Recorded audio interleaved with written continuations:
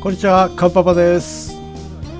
はい、えー九州往復2800キロ車中泊の旅シリーズご覧いただきましてありがとうございます。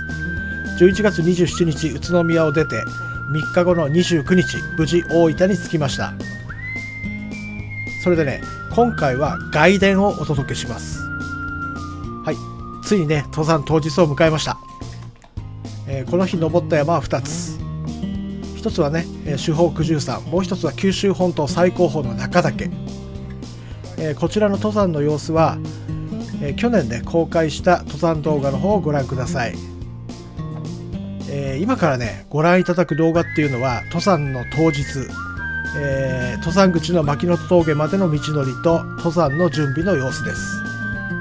大概ねこういったものは編集でカットするんですけどまあ今回はね遠征記の一部としてえー公開させていただきたいと思います。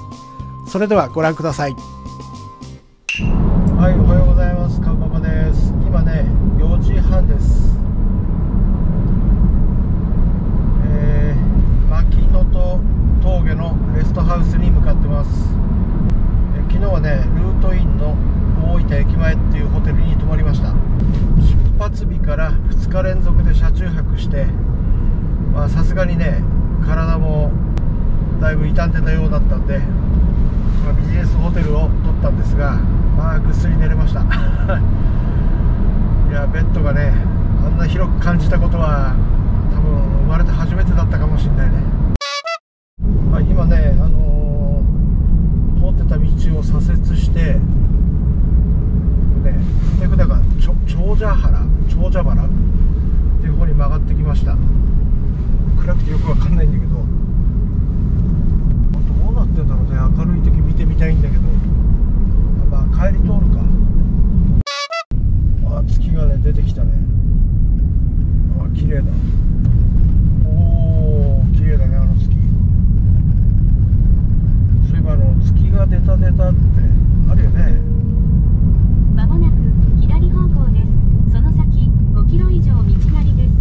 あのあの民謡っていうのはこっちの方の民謡じゃなかったっけはいここね左入るとあの有名な山並ハイウそのェイ先一時停止です。らしいですね。山並みが見えないけどね。景色の良いルートに入りました。で山並ハイウェイってね一回バイクでね走ってみたかったんでね。これ何年か前ね西日本一周っていうバイクの旅を企画しててね、まあ、ちょっとハプニングで終わっちゃったんだけどその時ね一番走ってみたかったのがこの山並ハイウェイですまあ山登りして帰ってくる頃にはもちろん見えるか。そうだね。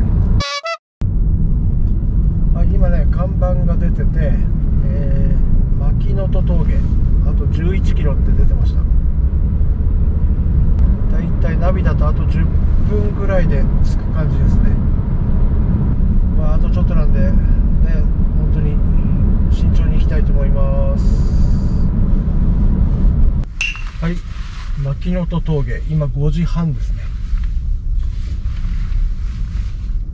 ああこれがあああれがレストハウスか。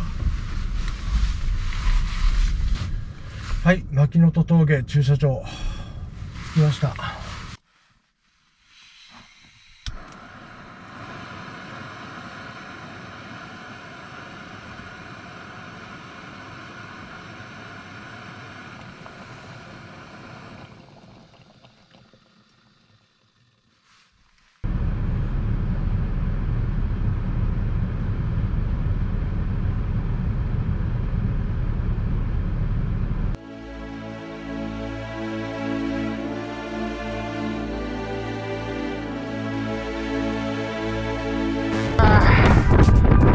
来た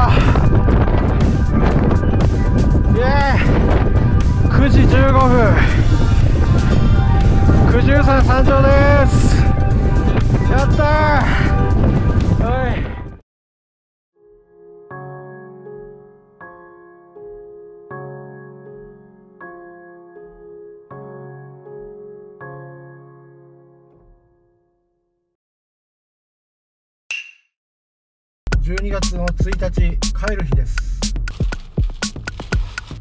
まあやっと日本海をねまともに見ることができたよ。